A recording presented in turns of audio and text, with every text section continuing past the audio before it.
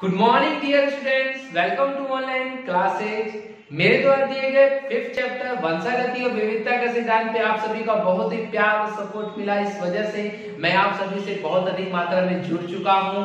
बहुत से बच्चों ने मुझे कमेंट करके बहुत ही पॉजिटिव कमेंट दिए। मैं उसका बहुत ही धन्यवाद देता हूँ। और आगे भी आप सभी मेरे से जुड़े रहे और अच्छी तरह अपनी पढ़ाई को जारी रख सके। मैं यही चाहता हूँ आज मैं आप सभी के जो मैक्सिमम बच्चों ने इसमें कमेंट किया था कि आप सिक्स चैप्टर को शुरू कराएँ तो मैं आज आप सभी के लिए सिक्स चैप्टर को लेके आ रहा हूँ, जिसका नाम है वंशागति का आणविक आधार मॉलिक्यूलर बेसिस ऑफ़ इनहेरिटेंस मैं इस चैप्टर को कंप्लीट कराऊँगा और ये आपको पता ही है ट्वेल्थ का सबसे इंपॉर्टेंट चैप्टर है। बहुत ही ज़्यादा इंपॉर्टेंट है, क्योंकि इसमें मैक्सिमम क्वेश्चन आपको फाइव मार्क्स मिल जाएँगे। और व्यक्ति भी आते हैं, और साथ में नीट ये सब के लिए भी इसमें से बहुत ज़्यादा क्वेश्चन आते हैं। तो आप सभी इसको अच्छी तरीके से पढ़ेंगे। और मैं यहाँ आप सबको पूरा कंप्लीट टॉपिक कराऊँगा। पूरा एनसीईआरटी कंप्लीट कराऊँगा तो कोई दिक्कत आप सभी को नहीं होनी चाहिए। एक एक टॉपिक को एक एक अच्छी तरीके से यहाँ डिफाइन कराऊँगा। तो आप सभी अगर चैनल पे नए हैं तो इसे जुड़ना चाहते हैं तो इसे सब्सक्राइब कर लें और इस वीडियो को लाइक भी कर दें और अपने दोस्तों तक अधिक से शेयर भी कर दें, जिससे और अधिक इस बच्चे इससे जुड़ सके और मुझे बहुत अच्छा लगेगा कि आप मुझसे अधिक से अधिक जुड़े। मुझे वीडियो बनाने में भी बहुत मज़ा आएगा। तो चलिए स्टूडेंट्स आज हम लोग जो सिक्स चैप्टर शुरू करने वाले हैं। बहुत ही अच्छी तरीके से ध्यान से पढ़िएगा। साथ साथ में मैं यहाँ पे लिखित नोट्स भी उपलब्ध कराता रहूँगा। तो जब आपको लगे कि ये लिखित है तो उसका स्क्रीनशॉट ले सकते हैं और अपना अपना फेयर भी आप कर सकते हैं। कोई दिक्कत आपको नहीं होगी। तो चलिए स्टूडेंट शुरू करते हैं। सिक्स चैप्टर का जो नाम है, वंशागति का आणविक आधार मोलिक्यूलर बेसिस ऑफ़ इनहेरिटेंस इसके बारे में हम लोग को अध्ययन करना है। अब मोलिक्यूलर बेसिस ऑफ़ इनहेरिटेंस से जानने से पहले हम लोग जो फिफ्थ चैप्टर पढ़े थे, उसमें वंशागति और विविधता का सिद्धांत पढ़ा था मेंडल का सिद्धांत पढ़ा था, फिर मॉर्गन का हम लोगों ने वो सटन वेबरी का हम लोगों ने पढ़ा था क्रोमोसोमा सिद्धांत मॉर्गन का सत्यापन किया था। तो ये सभी चीज़ें उसमें हम लोग को पढ़नी थी बट हमने उसमें एक चीज़ नहीं जाना था कि कौन सा ऐसा चीज़ है जो हमारे माता पिता से हमें प्रवेश करता है। वो चीज़ तो हमने जाना नहीं था। आज हम लोग उस चीज़ के बारे में जानेंगे कि कौन सा चीज़ है जो हमारे अंदर माता पिता से प्रवेश करता है। तो बहुत सारे वैज्ञानिकों ने इस पर शोध करना शुरू किया।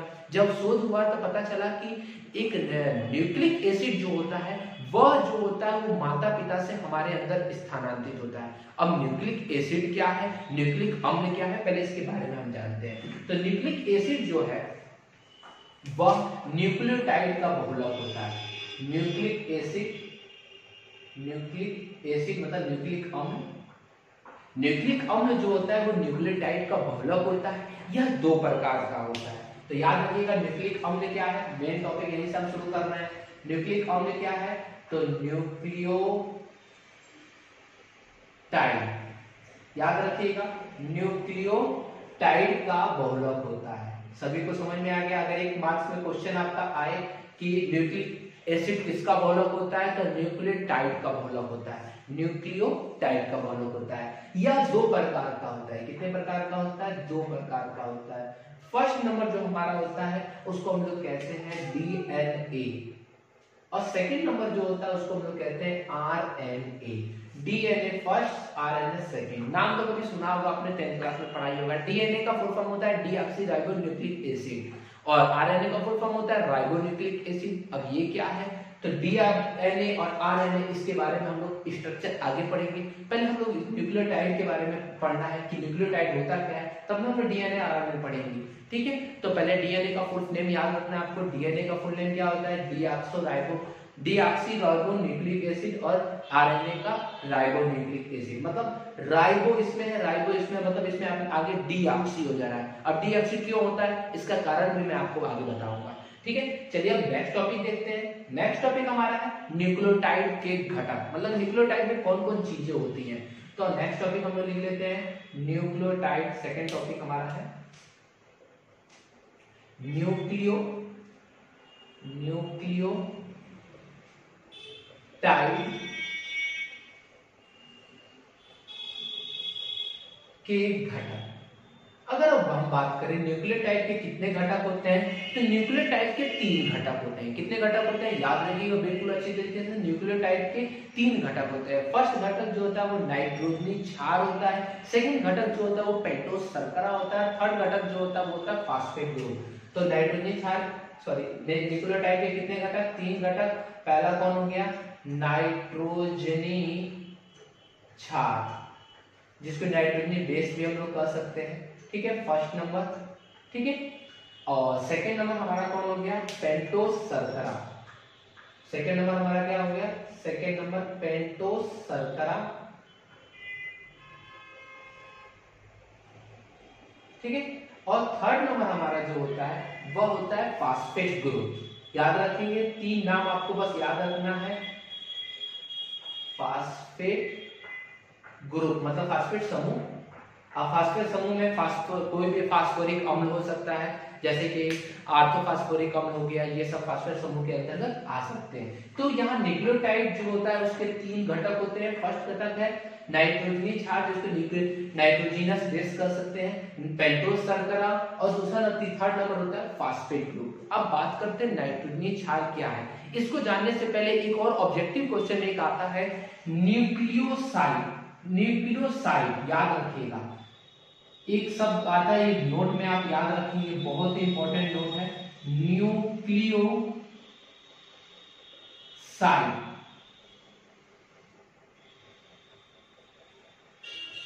न्यूक्लियोसाइड ये नेक्स्ट जो हमारा टॉपिक है, वो है न्यूक्लियोसाइड होता क्या है? न्यूक्लियोसाइड तो बहुत इंपॉर्टेंट नोट है, इसको याद रखिएगा।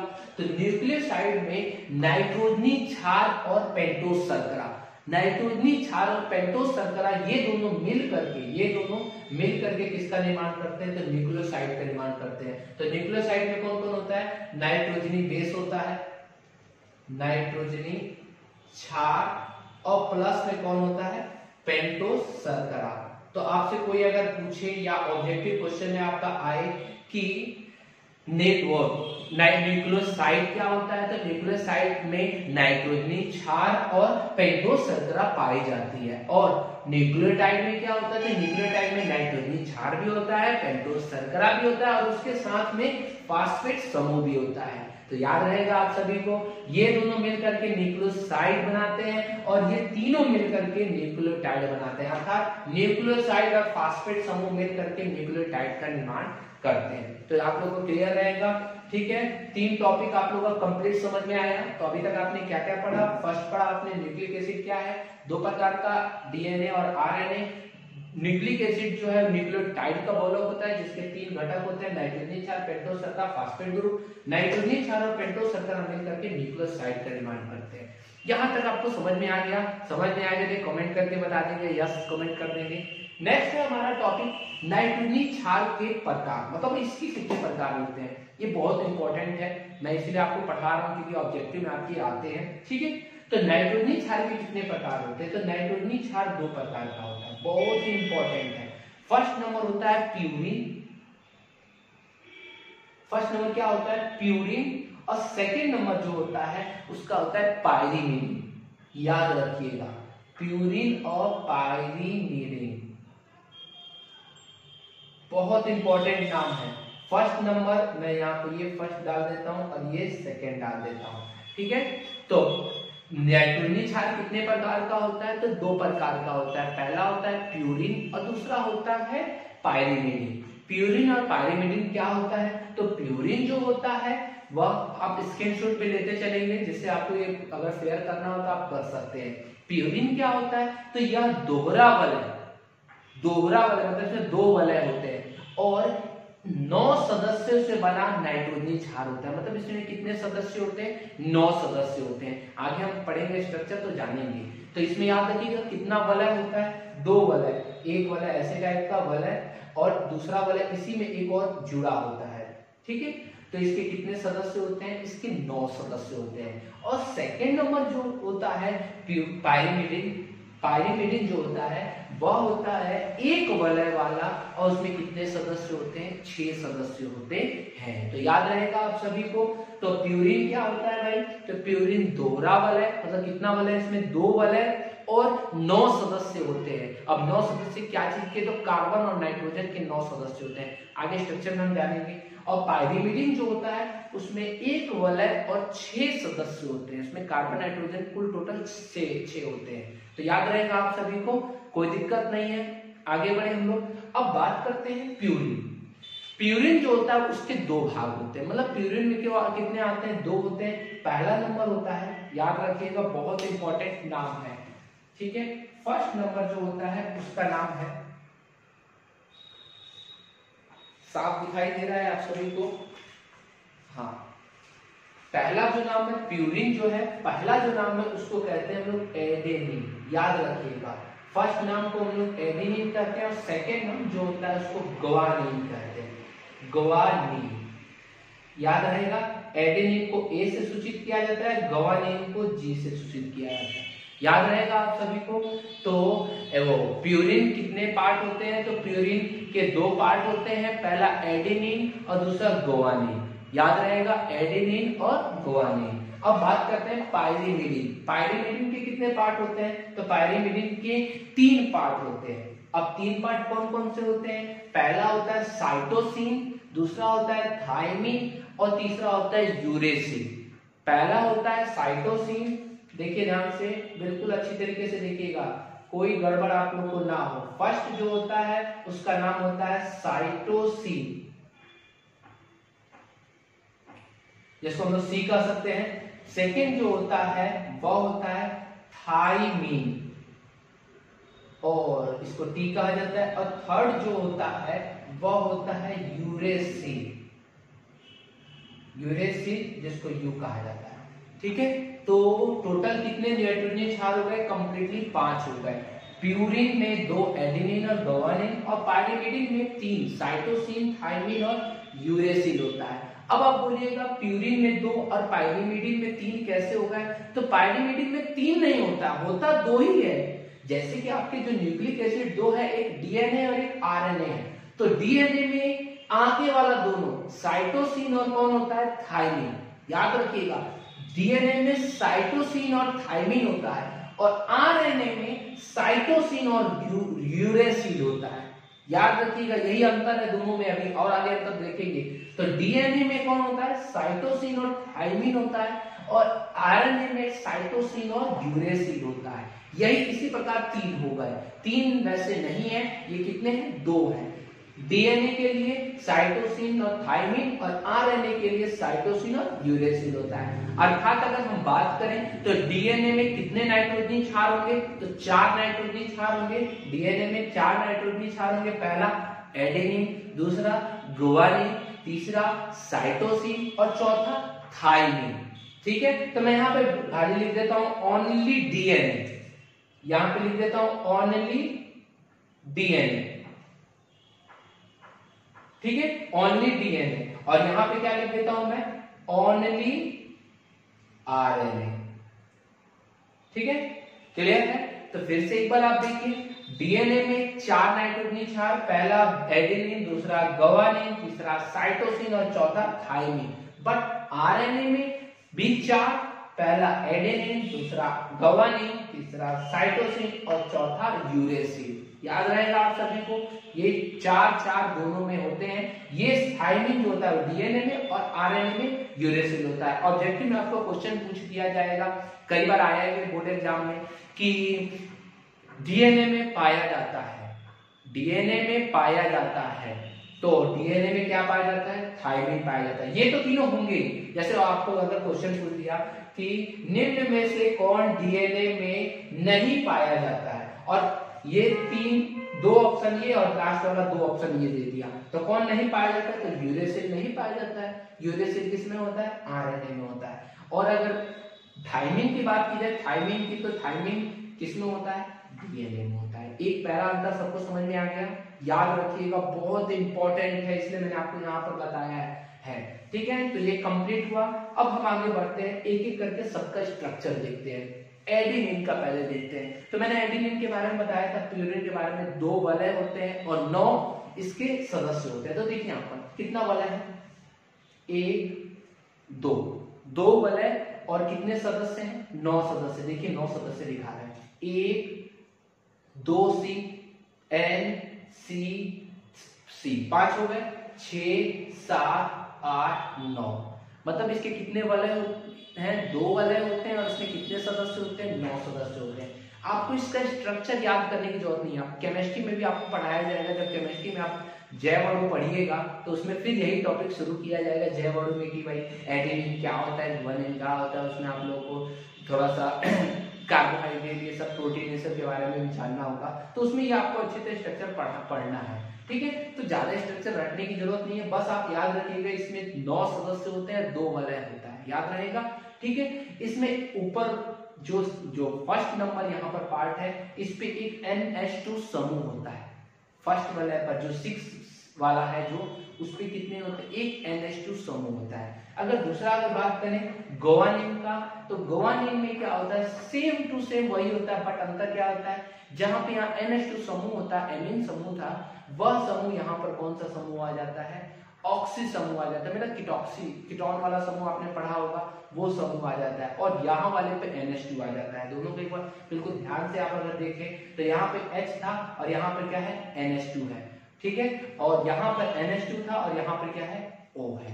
यही दोनों में डिफरेंस है। तो आप इसका पहले स्क्रीनशॉट लेना है तो आप स्क्रीनशॉट ले लीजिए, आपको याद रहेगा, कोई दिक्कत आपको नहीं स्ट्रक्चर बना लीजिएगा। तो एडिनिन में क्या है भाई? तो एडिनिन का स्ट्रक्चर इस प्रकार का होता है। बस इतना स्ट्रक्चर बना लीजिएगा। एडिनिन के स्ट्रक्चर से कोई क्वेश्चन नहीं आते हैं तो आपको घबराने की ज़रूरत नहीं है। बस आपको जानकारी के लिए मैंने यहाँ पर किया है। नेक्स्ट है गोवानिन गोवानिन का भी क्लियर हो गया, इसमें NH2 समूह यहाँ पर होता है और यहाँ पर ओ होता है। ठीक है? ऑक्सी नेक्स्ट है हमारा साइटोसिन साइटोसिन के बारे में हम लोगों ने पढ़ा था ये पायरिमिडिन का पार्ट होता है. पायरिमिडिन में कितने होते हैं? तो एक वलय होता है और छह सदस्य. देखिए छह सदस्य. एक सी दूसरा सी तीसरा सी एन सी एन छह सदस्य है और ये एक वलय वाला होता है. अब इसके तीन पार्ट होते हैं. पहला साइटोसिन थाइमिन और यूरेसिन तो साइटोसिन में यहाँ पर NH2 समूह होता है. यहाँ पे कीटोन वाला समूह होता है. कहाँ पर? NH2 फ़र्स्ट नंबर यहाँ पर होता है. यहाँ पर कीटोन समूह होता है। अगर यहाँ बात करें थाइमिन की तो थाइमिन में कीटोन समूह दो होते हैं और एक यहाँ पे मिथाइल समूह होता है। और यूरेसिल की बात करें तो यूरेसिल में यहाँ पर कीटोन, यहाँ पे कीटोन और यहाँ जो मिथाइल था, देखिएगा, थाइमिन में यहाँ मिथाइल था। थाइमिन में मिथाइल समूह था, बट यहाँ पे मिथाइल समूह नहीं होता है। अर्थात यूरेसिन में यहाँ पर मिथाइल समूह नहीं पाया जाता, यही दोनों में अंतर है। स्ट्रक्चर में क्या अंतर है तो याद रखिएगा थाइमिन और यूरेसिन से अगर आपको पूछे कोई क्वेश्चन कि थाइमिन और यूरेसिन में क्या डिफरेंट है तो थाइमिन और यूरेसिन में मात्र एक अंतर है। इसका जो यहाँ पर कार्बन पर एक यहाँ पे H है, वहाँ पे कार्बन की यहाँ पर क्या है? सी एच थ्री है। अर्थात यूरेसिन थाइमिन को हम लोग एक और नाम से हम जान सकते हैं, जिसको हम लोग कर सकते हैं वन ऑक्स क्या है? सी एच थ्री है। टू सॉरी टू सी पर मिथाइल समूह। Two methyl two methyl uracil कहा जा सकता है उसको। ठीक है? तो यूरेसिल के नाम से उसको जाना भी जा सकता है क्योंकि इस पे यूरेसिल की तरह सारी संरचना होती है बट यहाँ पे सी पर सेकेंड अगर इसको फ़र्स्ट सी माना जाए तो सेकेंड सी पर क्या होगा? सी एस थ्री समूह पाया जाता है। क्लियर है? कोई दिक्कत नहीं होगा आप सभी को। तो आप लोग को ये पाँचों संरचना स्ट्रक्चर समझ में आ गई। स्ट्रक्चर को एक बार फिगर बना लीजिएगा स्क्रीनशॉट लेकर के काफ़ी है। ठीक है? तो मैं यहाँ पर आगे बढ़ रहा हूँ। तो मैं यहाँ तक आप लोग को जो जो चीज़ पढ़ाया हूँ, आपको समझ में आ गया होगा। तो न्यूक्लियोटाइड के तीन घटक, पहला नाइट्रोजन क्षार पेंटोसर का फास्फेट ग्रुप पेंटोसर नाइट्रोजन क्षार के दो प्रकार प्यूरिन और पायरिमिडिन प्यूरिन के दो एडेनिन गोवानिन और पायरिमिडिन के साइटोसिन थाइमिन और यूरेसिन अब आगे हम बढ़ते हैं। नेक्स्ट सेकंड नंबर पेंटोस शर्करा के बारे में। किसके बारे में? पेंटोस शर्करा के बारे में। तो चलिए पेंटोस शर्करा के बारे में देखते हैं। तो पेंटोस शर्करा जो होता है, यह पाँच कार्बन पाँच कार्बन परमाणु से निर्मित शर्करा होती है। इसलिए इसका नाम? पेंटोस हुआ। पाँच कार्बन परमाणु से निर्मित सरकरा होती है, जो डीएनए और आरएनए में अलग अलग पाया जाता है। अब आप बोलिएगा, डीएनए और आरएनए में किस प्रकार अलग अलग पाया जाता है? तो देखिए, डीएनए और आरएनए में देखिए। तो ये है डीएनए में। तो डीएनए में क्या अंतर है? तो डीएनए में देखिए यहाँ पर, अगर यहाँ पे ये वाले सी को फ़र्स्ट माना जाए ए ये दूसरा नंबर सी आपको पता होगा कि अगर हम ऐसे खींच दे तो यहाँ पर अगर कुछ पार्ट है, यहाँ ओ एच है, यहाँ सी है, यहाँ पे सी है, यहाँ सी है तो अगर हम देखें तो यहाँ पे ये सी होता है। जब मैं आपको स्ट्रक्चर पढ़ाऊँगा, संरचना सूत्र पढ़ाऊँगा केमिस्ट्री का, तब आपको मैं बेसिक जब कराऊँगा तो आप उसमें एक बार देख लीजिएगा। ठीक है? उसमें आपको आईयूपीएससी नेम लिखना मैं अच्छी तरह सिखाऊँगा। तो आईयूपीएससी नेम लिखने के लिए क्या किया जाता है? यहाँ पर नामांकित किया जाता है। सी पर एक वन दो, तीन, चार, पाँच। पाँच सी है कार्बन परमाणु है। पाँच कार्बन परमाणु वाला एक पेंटोस शर्करा है, जिसमें यहाँ पर सेकेंड कार्बन परमाणु पर दोनों पे क्या होता है? एच होता है। बट अगर बात करें आरएनए में तो आरएनए में यहाँ पर ओ OH होता है मतलब सेकेंड वाले पर क्या होता है? ओ OH होता है। अर्थात आरएनए डीएनए में यहाँ पे एच पाया जाता है आरएनए में यहाँ पे ओ OH पाया जाता है। बस यही डिफरेंट है। बाकी कोई अंतर नहीं है, देख लीजिएगा। तो डीएनए और आरएनए का फुल वो पेंटो शर्करा का हमने चित्र देखा। डीएनए में जो पेंटो शर्करा होती है, उसका नाम होता है beta D two deoxyribose दो नंबर पर ऑक्सीजन नहीं है। इसीलिए इसका नाम हो गया डी ऑक्सी डी ऑक्सी इसलिए नाम रखा गया कि दो नंबर पर टू टू मतलब दो नंबर कार्बन परमाणु पे ऑक्सीजन नहीं है। इसीलिए इसका नाम डी ऑक्सी हुआ। और इसमें दो नंबर पे ऑक्सीजन है, इसलिए केवल इसका क्या नाम हुआ? Beta D ribose. इसीलिए डीएनए का फुल नेम क्या हुआ? Deoxyribose nucleic acid. और इसका नाम क्या हुआ? Ribonucleic acid. इसी पेंटोस शर्करा के आधार पर इसका नाम लिखा गया है। तो याद रहेगा आप सभी को पेंटोस सरकरा क्लियर है। पेंटोस सरकरा में यहाँ पर फ़र्स्ट सी पर एक ओ एच, सेकेंड सी पर अगर डीएनए की बात करें तो केवल दोनों पे एच होता है, अगर आरएनए की बात करें तो एक ओ एच होता है। यहाँ थर्ड सी पर ओ एच होता है, दोनों में फोर्थ सी पर एक फोर सी पर केवल एक एच होता है और फोर सी का एक जो होता है बॉन्ड वो ओ से जुड़ा होता है, ठीक है? ओ से जुड़ा होता है ग्लाइकोसाइडिक बॉन्ड है, आगे जो आपको पढ़ाया जाएगा उसमें जानेंगे, आप सेकेंड जब वो केमिस्ट्री पढ़ाया जाएगा, इसमें अभी आप बेसिक मत जानिए। केमिस्ट्री में जैवरों के बारे में कंप्लीट बेसिक और उसमें स्ट्रक्चर पढ़ना है, नाम भी पढ़ना है, ठीक है? और यहाँ पे जो पांचवा कार्बन परमाणु है उसमें सी एच टू और एक ओ एच है।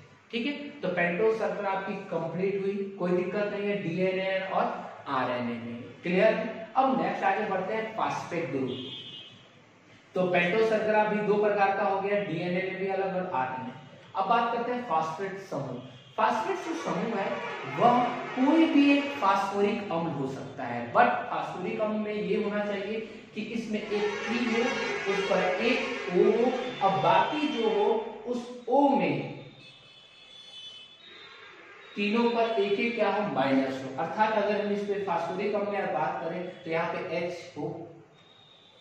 आपने स्ट्रक्चर पढ़ा होगा आर्थो फास्फोरिक अम्ल का। क्या होता है फॉर्मूला H3PO4 होता है। आर्थो फास्फोरिक अम्ल का स्ट्रक्चर पढ़ा होगा आपने।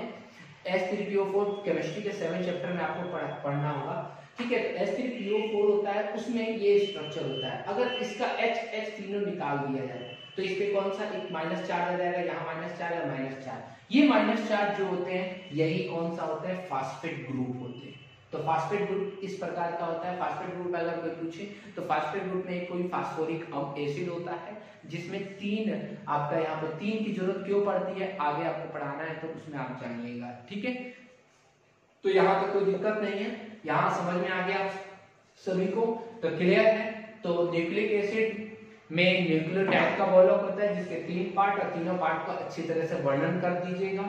ये आपके ऑब्जेक्टिव के लिए ज़्यादा इंपॉर्टेंट होता है। अब अपने टॉपिक्स पे आते हैं।